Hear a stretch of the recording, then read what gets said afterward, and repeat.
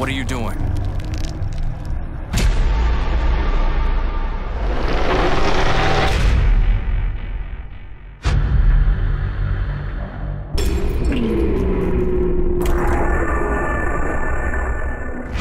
Demented, vicious, deadly. In the evil within, the origins of your enemy are unknown, but their intent is not. For Detective Sebastian Castellanos to survive, he'll have to withstand this inhuman evil.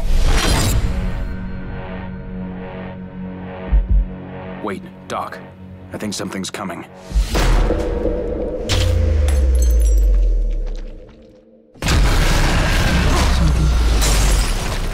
The enemies of the evil within are known as the Haunted, tortured souls driven by one goal to slaughter without mercy.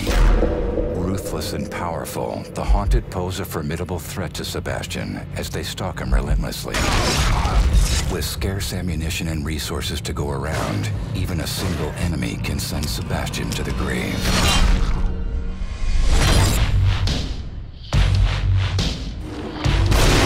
It's not just enemies that will tear Sebastian apart. The environment itself is laced with perilous traps.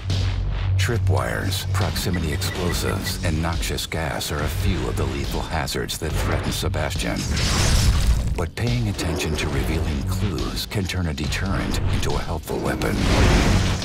While the haunted are fearsome and the surroundings are treacherous, there are some enemies so powerful, not even death can stop them.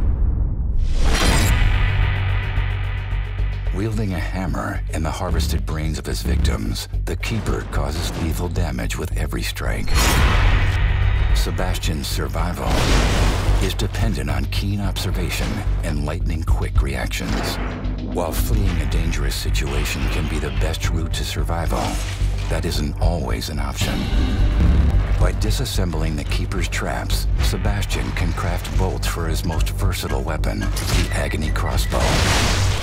The Agony Crossbow uses ammunition salvaged from mechanical parts. When bullets are nowhere to be found, Sebastian can use a variety of bolts to harpoon, shock, or freeze his adversaries.